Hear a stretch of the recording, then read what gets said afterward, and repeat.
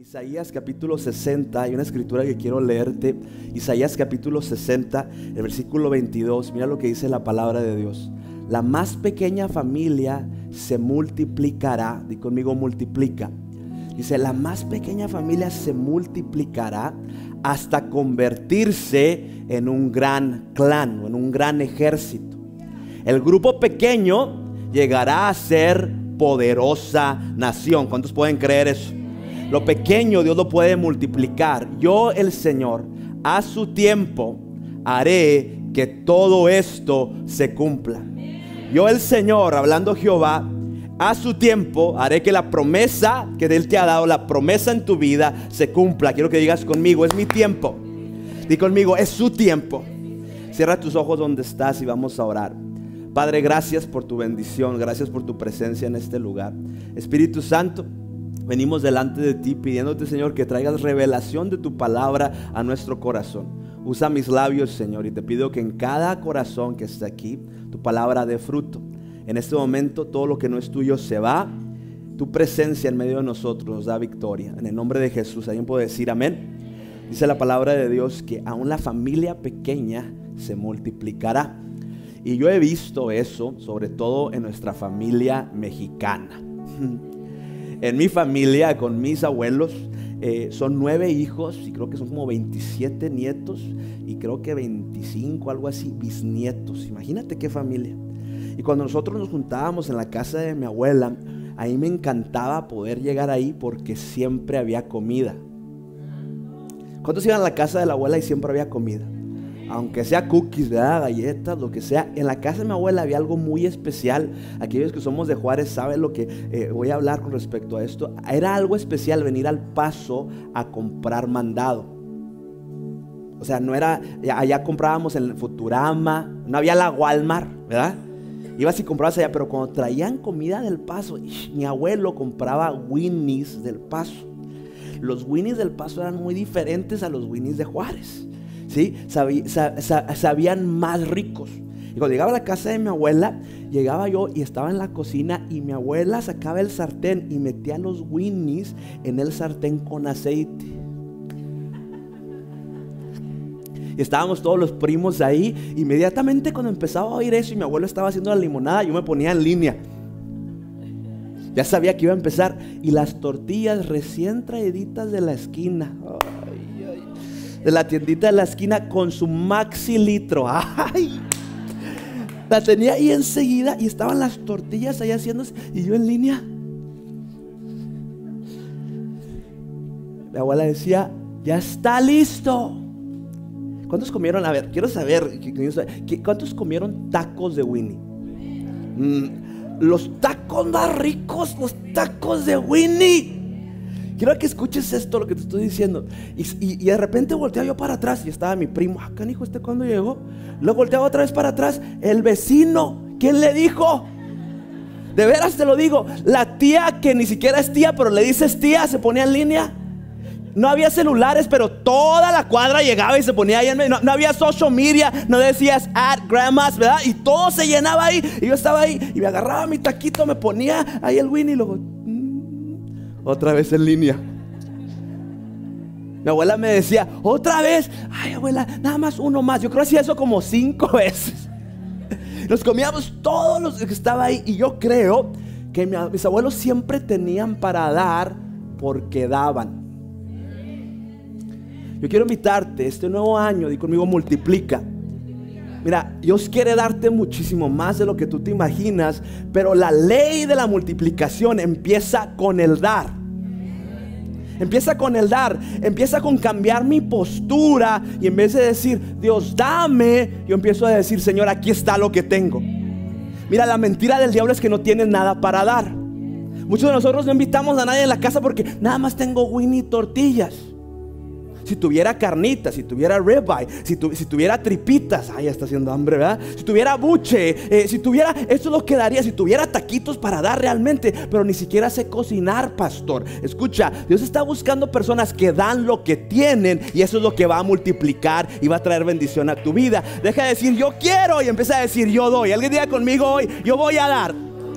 Este nuevo año yo tengo que cambiar mi postura. Dios te ha puesto aquí para dar, Dios te ha puesto aquí para ser de bendición. Tú tienes algo de parte de Dios que alguien necesita. Las personas alrededor de ti necesitan que des lo que tengas. Deja de estar diciendo, a ver cuándo Dios me da más y empieza a decir, Señor, lo que tengo, hoy te doy. Y a través de eso su bendición se multiplica. En Juan capítulo 6, ve conmigo a la palabra de Dios. Juan capítulo 6, hay una historia que me encanta. Versículo 5 al 9 voy a leer esta historia en Juan capítulo 6. Cuando alzó Jesús los ojos y vio que había venido a él gran multitud, dijo a Felipe, ¿de dónde compraremos pan para que coman estos? ¿De dónde compraremos pan para que coman? Ve una gran multitud. Pero esto decía para probarlo, porque él sabía lo que había mm, hacer. ¿Cuántos saben que Dios ya sabe lo que tiene que hacer? Escucha esto. Le dice, ¿cómo le vamos a dar de comer? Felipe le respondió, 200 denarios de pan no bastarían para que cada uno de ellos tomara un poco. 200 denarios de pan era semejante a la mitad del sueldo de un año. Imagínate cuánta gente había, miles de personas. Dice, ¿qué es lo que vamos a hacer? ¿Cómo vamos a darle de comer? Uno de sus discípulos, Andrés, hermano de Simón Pedro, le dijo, aquí hay un muchacho que tiene cinco panes de cebada y cuántos pescados? Tiene cinco panes, tiene cinco panes y dos pescados. Pero, ¿qué es esto para tantos? ¿Qué es esto para darle comer a esa multitud?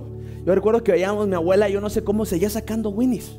Seguía sacando winnies, seguía sacando winnies. ¿A cuánto le ha pasado que estás en la casa y empieza a llegar gente a comer y dices, ay, no tengo para, no sé cómo lo voy a dar para todos? ¿Cuánto les ha pasado eso? ¿Cuántos de los que están aquí siempre que han dado de comer ha habido suficiente? No los escuché. ¿Cuántos siempre ha habido suficiente? ¿Te has fijado eso? Yo me he fijado que cuando yo tengo en mi casa y no invito a nadie, hasta se me hacen malos lo que se quedó en el refrigerador. Pero cuando yo empiezo a compartir lo que Dios me ha dado, Dios siempre lo multiplica. A, mí me encanta esta historia porque Jesús le pregunta a sus discípulos, después de que ve el problema, después de que ve la situación, escucha cómo funciona Dios, después de que ve tu necesidad, después de, que, de que ve lo que se siente como una multitud, como algo que puede venir a, a tomar tu paz. Dice, ¿cómo le podemos dar de comer? Fíjate lo que te pregunta Jesús. ¿Te has sentido últimamente como que es mucha la necesidad? ¿Te has sentido últimamente como que, híjole, a veces esto es mucho para mí? Fíjate la pregunta que te hace Jesús. ¿Qué vas a hacer al respecto? Pero es que este problema con mi esposo, este problema con mis hijos, escucha lo que te dice. ¿Cómo les vas a dar de comer? Es decir, ¿cómo vas a saciar la necesidad que ellos tienen? Oye, Jesús, pero yo también tengo hambre.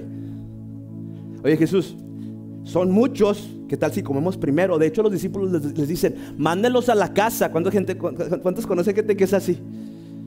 Así eran los discípulos. Diles que se vayan antes de que empiece la comida. Porque ¿cómo les vamos a dar de comer? No tenemos suficiente. Eh, Jesús, diles, eso es lo que dice la palabra de Dios. Tú puedes ver esto en todos los evangelios, Mateo, Marcos, Lucas, Juan, que son las cuatro historias de Jesús, los evangelios. Cada uno dice esta historia. Dice que se van a buscar a ver quién tiene algo de comer. Cinco mil hombres, porque no contaban a las mujeres ni a los niños. Quiere decir que eran fácil, unos ocho mil, diez mil. De hecho, yo pienso que siempre hay más mujeres que hombres, así que a lo mejor eran como doce mil, quince mil. Imagínate cuánta gente había ahí, una multitud y Jesús dice, dale ustedes de comer. Yo creo que hoy Dios te dice en el problema que tú estás teniendo ahí enfrente, dales de comer. ¿Quieres multiplicación? Da lo que tienes. Y cuando ellos van y van, empiezan a ver quién va de comer, ¿tú crees que con cinco mil hombres no iba a haber ahí el que traía su clavo? ¿Cuántos saben lo que es el clavo? Lo que traes ahí en la cartera abajo. ¿Cuántos tienen un clavo? Ah, no sé. ese, ese, nos ayuda, ¿no es así? Sobre todo ahorita que ya, ya de repente que no traes efectivo y estás como, ay, qué bueno que traigo ahí, híjole.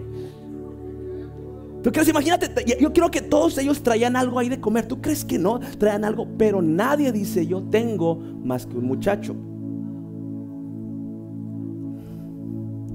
Mira, yo de niño, em, a mí me tocó ir al parque Borunda.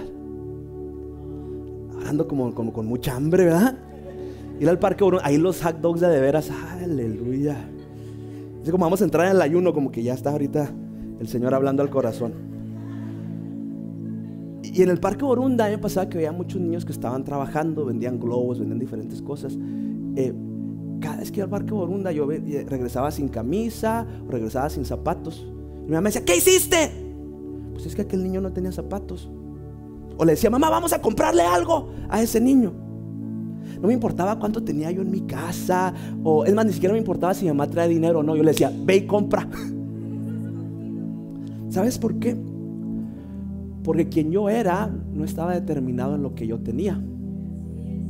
De niño quien yo soy no es cuánto tengo. De niño quien yo soy es lo que yo doy.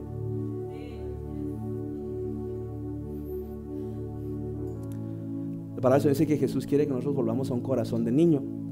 Tú no eres lo que tienes, el reloj que traes, el teléfono que traes, la casa que tienes. Tú no eres lo que tienes, tú eres lo que das.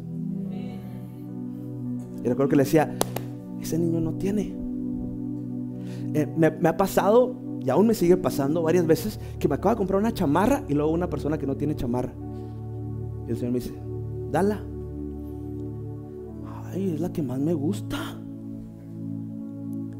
Al momento que yo me quedo con lo que Dios me dice que dé, yo detengo la multiplicación en mi vida.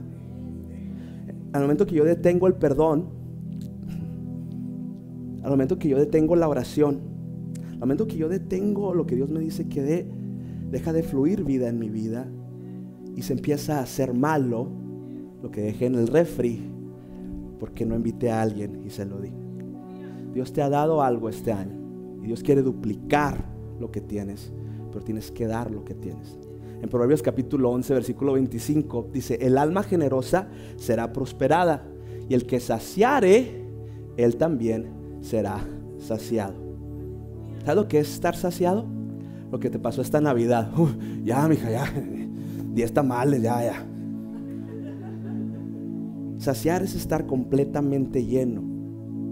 Estar completamente lleno. Pero dice, el alma generosa es la que prospera.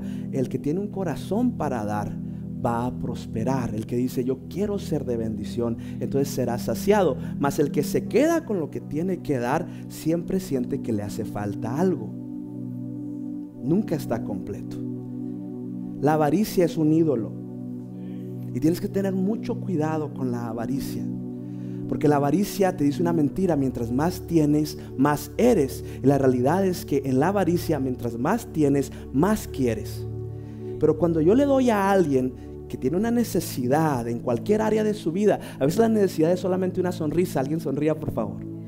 A veces la necesidad es solamente una llamada, pero no tengo nada que dar. ¿Qué decían? No tengo oro ni plata. Los discípulos llegaron a decir eso, mas lo que tengo te doy. Di conmigo, yo tengo algo para dar. Lo que tengo te doy. Y como dan, Dios le multiplica. Mira, en Marcos 6 la misma historia sigue diciendo, pero te voy a decir el relato un poquito diferente. En Marcos capítulo 6, versículo 38 al 40. Él les dijo, ¿cuántos panes tenéis? ¿Cuántos se acuerdan cuántos panes había? Cinco panes. Id y vedlos. A Jesús los manda. Fíjense a ver, entre toda esa gente a ver qué traen. Y al, y al saberlo dijeron, cinco y dos peces. Es decir, nada más el niño da lo que tiene. Entre toda esa gente. Y les mandó que hiciesen recostar a todos por grupos sobre la, hierba verde. Y se recostaron por grupos de ciento en ciento y de cincuenta en cincuenta. Fíjate lo que hace Jesús. Yo quiero que aprendamos hoy lo que son las leyes de la multiplicación. Cuando Jesús te da algo tienes que soltarlo, tienes que darlo. Y luego tienes que aprender a poner orden. Había una multitud y tienes que dejar que Jesús sea el que ponga el orden. Él llega y dice, ve toda la gente, porque mira, vamos a ser honestos. Imagínate, simplemente aquí en la iglesia, eh, vamos a tener una comida, vamos a, vamos a tener una, una, comida después de la iglesia. Si yo te digo, ay pastor, ahora sí voy el domingo a la iglesia, ¿verdad? Ahora sí vamos, vamos a comer y nos quedamos ahí al final, no importa. Imagínate, si digo yo, va a haber comida allá afuera, ¿qué crees que pasaría? ¿Qué, qué, qué, Mira, yo estoy seguro porque lo he visto. Ay, yo traigo mucha hambre. Me pone, se en línea como yo me ponía con los Windows con mi abuelita. Me, ponía, me pone en línea primero para estar ahí. De hecho, muchas veces nosotros cuando vemos provisión nos peleamos para que nos toque a nosotros primero. No se vaya a acabar. ¿Cuántos aquí crecieron con familia grande? Adelante la mano los que crecieron con familia así, más de cinco, sí. Bueno, vamos a decir más de tres, ya ahorita ya cuenta como familia grande. Con familia grande, tu abuelito, tu mamá te habla y te dice, ya está la comida. Sales tú corriendo, ¿verdad? Y tienes que salir corriendo rápido porque si no cuando llegues, ¿qué pasa? Ya no hay nada. A mí me pasaba mucho eso, llegaba yo y mi mamá, ándale, ya, está la comida. Y yo, ay, más vale que corra porque voy a llegar y nada, nomás a tocar más que los puros frijoles. ¿A cuándo les tocar los puros frijoles? Tenías que salir corriendo. Es, esto es en el mundo. En el mundo es yo te voy a ganar. Quiero que entiendas esto. Pero en Cristo es yo te voy a hacer ganar. La multiplicación es entender el orden de Dios. Dice que se ponían en grupos. Se ponían en grupos y a través de esos grupos ellos empezaron a dar. Ellos solamente tenían cinco panes y dos peces. Escucha, nunca pienses que es muy poco lo que tienes. Yo pienso que si yo hubiera sido ese niño, me hubiera dado vergüenza darlo. Hay tantos, ¿cómo voy a dar esto? ¿Qué pasa si lo que a lo mejor a ti te causa vergüenza dar es lo que otros necesitan para ser saciados? no te dé vergüenza dar lo que Dios te ha dado. Pero no tengo mucho talento, pero no tengo mucho tiempo, pero no tengo muchas finanzas. Da lo que Dios te ha dado y Dios lo va a multiplicar. Y deja que Él ponga el orden que Él quiera en tu vida. Mira, en el orden de Dios, Él mandó a su Hijo Jesucristo para pagar por nuestros pecados. En el orden de Dios tú y yo no somos suficientes. De hecho, déjame decirte, tú que te sientes que no eres suficiente, Cristo hoy quiere traer a tu corazón una nueva vida, una nueva paz que te hace tener esa paz que te hace estar saciado. Estar completo en Él, pero tienes que venir al orden de Dios. En el orden de Dios tienes que arrepentirte de tus pecados. Tienes que decirle, Señor, perdóname, quita esto. Ya no quiero vivir de acuerdo a mi voluntad. Ya no quiero ser yo el que gane. Quiero que tú seas el que gane siempre en mi vida. Y tú te arrepientes de tus pecados, Él pone orden en tu vida y todo se multiplica. Mira, hubo un tiempo donde yo y Ana nos, endeudamos. Y recuerdo cuando, cuando empiezas a endeudarte, piensas que las tarjetas de crédito es tu dinero. piensas que la tarjeta, ah, tengo 5 mil dólares no es tuyo, pero piensas que es tuyo, ¿verdad? Y empiezas a usar la tarjeta de crédito como si fuera tuyo. Y cuando menos me di cuenta, teníamos una deuda enorme. Y le dije, ¿sabes qué, amor? Ya, se acabó. No podemos seguirnos endeudando porque no puede ser que no tengamos para dar porque nos robaron. Y lo peor es que nos robamos, nos robaron y les abrimos la puerta, ¿no?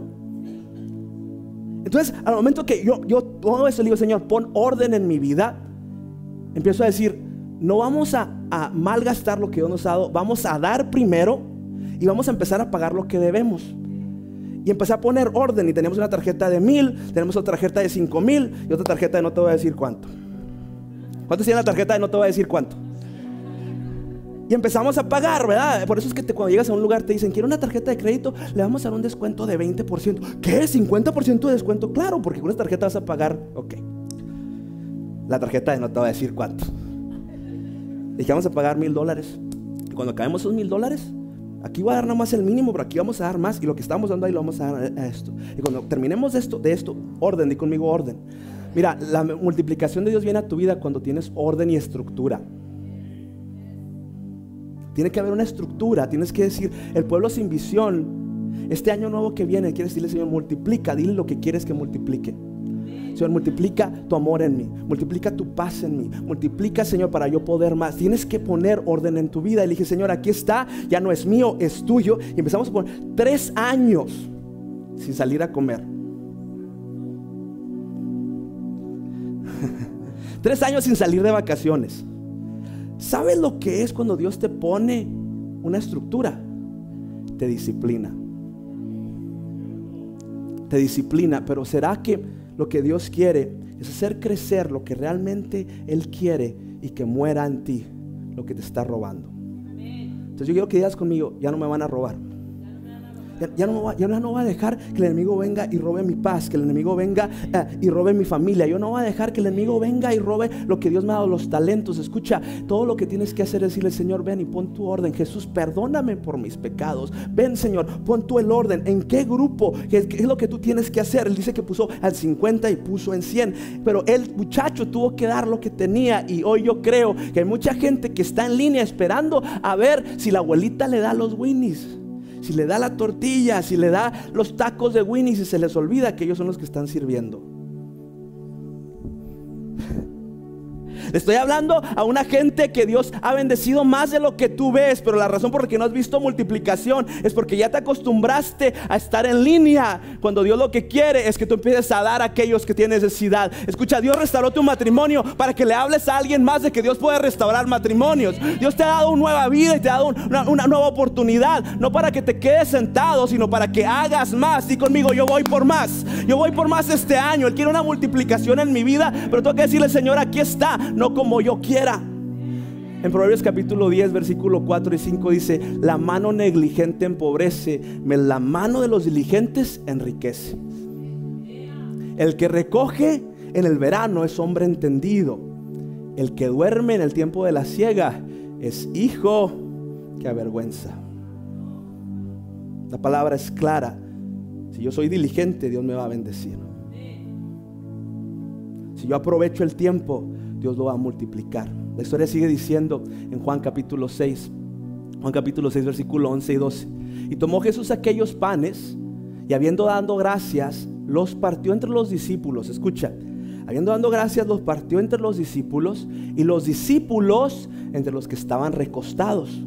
Asimismo de los peces, ¿cuánto? ¿Cuánto querían? Y cuando se hubieran saciado, dijo a sus discípulos, recoged los pedazos que sobraron para que no se pierda nada. Di conmigo que no se pierda nada. Mm, escucha eso. Para que no se pierda nada. Fíjate cómo Dios es tan grande cuando tú le das lo que tú tienes. Cuando dice Señor, pon tu orden en lo que tú quieras hacer. El Señor tiene un orden específico y dice, yo quiero que mis discípulos sean los que den. ¿Hay alguien aquí que sea discípulo de Jesús? Dije, ¿hay alguien aquí que sea discípulo de Jesús? El ser discípulo de Jesús sigue lo que Jesús dice. Este año quiero invitarte a que veas lo que Jesús dice en esa relación. A que veas lo que Jesús dice en tus finanzas. O que veas lo que Jesús dice en la iglesia. Fíjate lo que dice la palabra de Dios. Y sea un discípulo de Jesús. Síguelo a Él.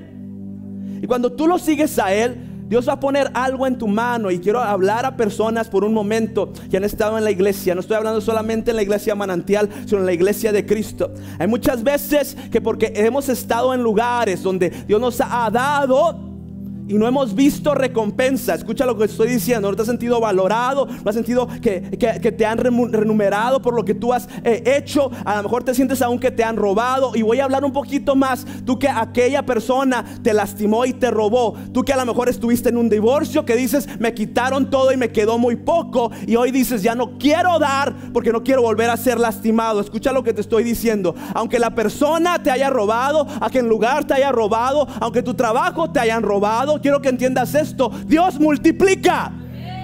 Aunque la gente te robe, Dios puede restaurar lo que te han robado.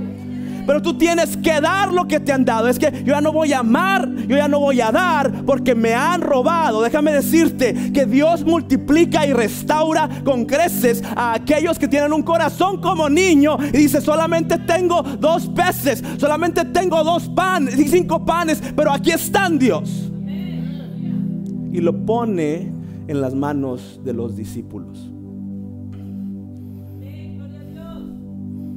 El orden de Dios. Poner lo que tienes en el liderazgo de Dios. Hmm. Oye, yo no le voy a dar a los discípulos que primero me agarren la mitad de mi pescado. Déjame decirte cuáles son los discípulos líderes que realmente están haciendo lo que Dios está dando los que dan lo que reciben antes de comer.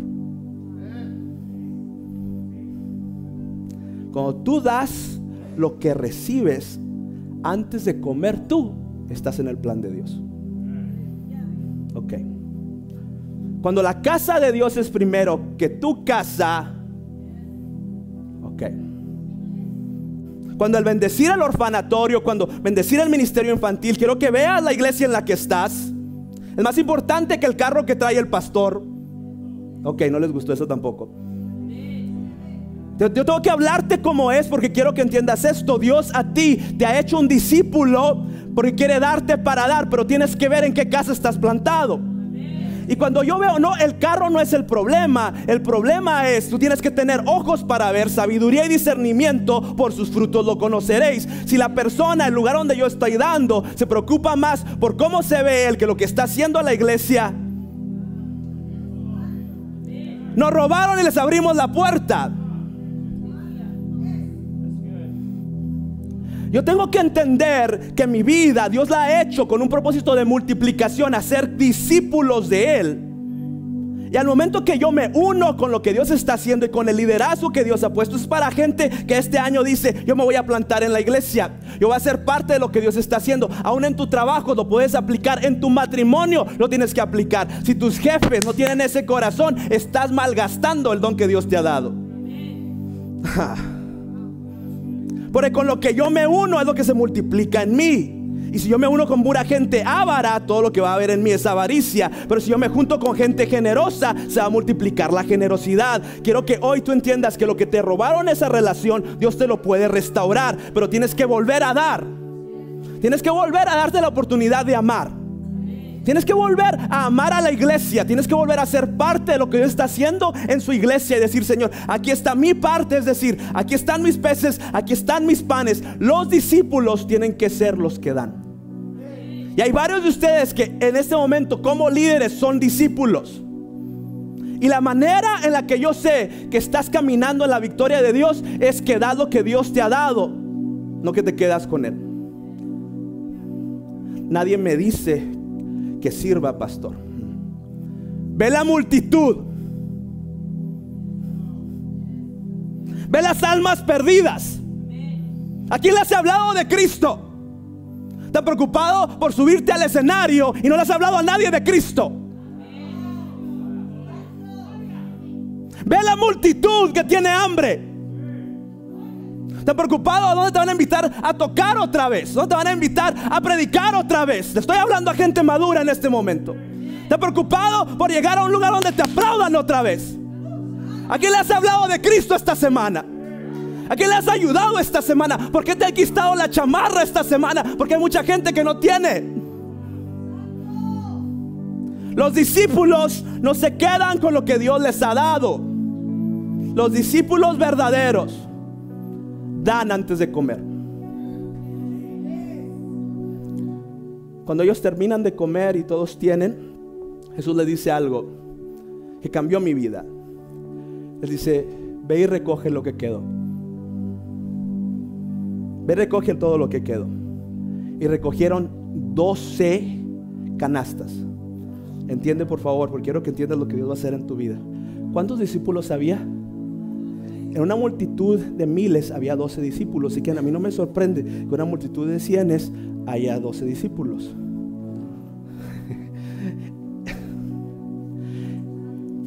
Los discípulos dieron antes de comer y recogen 12 canastas. ¿Cuántas canastas?